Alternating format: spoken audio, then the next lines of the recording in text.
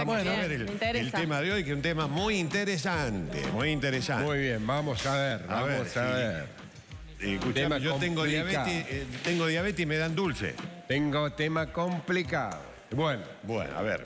Día Mundial de la Diabetes 2022, el 14, como dijimos. El lema es educar para proteger el futuro. ¿Vamos a seguir educando, protegiendo el futuro, dando hidrato de carbono? Ah, ¿Será ese el, lema o comenzaremos una nueva etapa en el tratamiento de la diabetes para evitarla? Vamos a mostrar datos interesantes. Avancemos, por favor. a ver. Y acá lo pongo a mi querido Hamlet, eh, que está dis- hace, elige Ser. hidratos Sí. o grasas. Hablando de diabetes, hidratos o grasa. Avancemos. Vamos a comenzar un poquito en contexto de la historia. Mírenla ahí. A ver.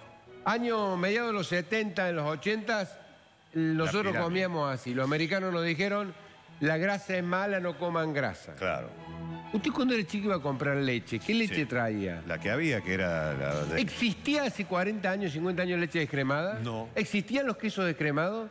¿Por qué en los Sí. últimos 40 años, siendo tan buena la leche descremada, provocó desastre? Sí. Quiere decir que no era tan buena. Acá ven, en el campo, lo que come la gente con la grasa. Se desayunaban huevo frito hecho Claro. en grasa de cerdo. Nos dijeron que era malo y que obviamente había que pasar a comer otra cosa. Y pusieron esta otra, panes, pastas, cereales, arroz, fideos. Claro. Mire, mire, señora, señor, este dato. Antes se comía más grasa, Sí. ¿sí? Y fíjese la cantidad de obesidad y diabetes que había. Comiendo más grasa y menos hidrato, había mucha menos obesidad y mucha menos diabetes. Cuando dejamos de comer grasa y empezamos a comer hidratos, en los últimos 40 años, Lagui, no en los últimos 4.000, Sí, sí. en los últimos 40, se duplicó y un poco más la obesidad y el sobrepeso. Y mire esto, se sextuplicó la diabetes por seis. Uf. ¿Haciendo qué? Comiendo menos grasa, la mala de la película, Sí. y los buenitos de los hidratos 50. Ahí, Uh. en los últimos 40 años, acá se produjo el, gra- el gran desfasaje. Qué bajo. Por lo tanto, si nosotros vemos esto, esto, ¿usted cree que yo puedo opinar de esto? No. Y no se puede, ya está, es una Es un hecho. Sí, claro. No hay opinión, o sea, nos guardemos las opiniones, porque es un hecho. ¿Qué haría usted, que es un médico Mire, tengo la chaquetilla que puesta. está con todo puesto? Sí, claro. Si yo le digo a usted esto, ¿cómo, volve- cómo comería usted? ¿Con más hidrato? Con... No, yo vuelvo a lo de antes. Ahí está. Claro, vuelvo a lo de antes. Entonces no inventamos nada, Lagui. Yo no descubrí nada, no es mía. La ciencia no descubrió nada nuevo. No es mágico, no es rápido, pero tiene sentido común. Es volver a comer como comíamos 50 años atrás. En donde entonces la diabetes era, como- tenía muy poca prevalencia. Insisto, por seis se sextuplicó la diabetes. Pero en Argentina es Sí, esto, sí, no sí. es en Estados. Unidos que dice. Avancemos. Este me parece que es un dato muy importante.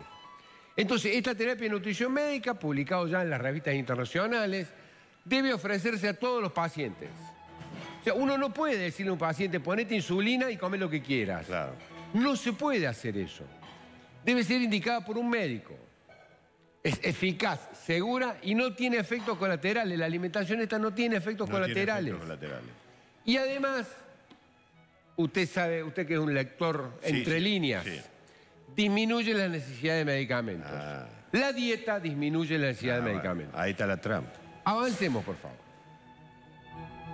Las dietas muy bajas en hidratos, dicen las publicaciones, esto es Diabetes Care, una revista muy importante, Sí. los estándares de, de- de- de control de diabetes. Las dietas muy bajas en hidratos demostraron, escuchen esto, la mayor evidencia de mejoría en la glucemia y reducen la necesidad de medicamentos de insulina. Vuelven a insistir con lo mismo.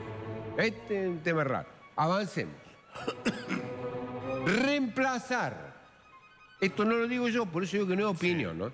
Reemplazar alimentos ricos en hidratos con alimentos ricos en grasa mejora más la glucemia y los factores de riesgo cardiovascular como el colesterol bueno y los triglicéridos comparado con dieta baja en grasa. Baja en grasa. O sea, si usted come una dieta baja en grasa, no es tan bueno el resultado como una dieta baja en hidrato y alta en grasa.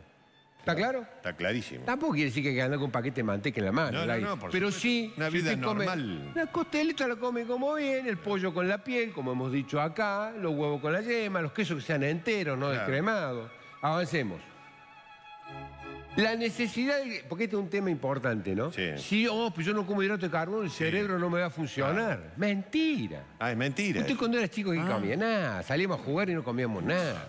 La necesidad de glucosa del cerebro se logra con la transformación, tiene un proceso químico que se llama neoglucogénesis, de grasa y de proteína en glucosa o con cetogénesis. Los cuerpos cetónicos también eh, nutren al cerebro y nutren muy bien al cerebro y al corazón también. ¿eh? Ahí tienen ustedes datos, avancemos. A ver. Dos datos que me parecen muy importantes con la diabetes y su avance en este día de la diabetes. El aumento de la diabetes en la pobreza. Eh, por la dieta. Muy bien. La dieta. Con usted me gusta dialogar porque usted me, Sí, me entiende. Las dietas, eh, los bolsones que distribuye el gobierno, fideos, pan, Polenta, polenta, todo. arroz, Nada papa. de carne, nada de huevo. Nada. Nada de proteína. Nada de carne, nada de huevo, nada de carne. Digo, esto es lo que nosotros tenemos que entender, que esto está pasando. Entonces, ¿se acuerdan que Cristina una vez dijo que era enfermedad de ricos? Sí. No, enfermedad de pobres. Y cada vez más pobre por el tipo de alimentación que es la más barata, obviamente. Y el otro dato es en los chicos. Es tremendo ver chicos de 9, 8, 10 años con diabetes tipo 2, no tipo 1. No la que tiene el déficit total que ya. No, esto es producido por la alimentación y por la obesidad. El hígado graso en estos chicos es realmente tremendo. Avancemos. A ver. Y esto es lo que yo le preguntaba. ¿Se puede, puede remitir la diabetes?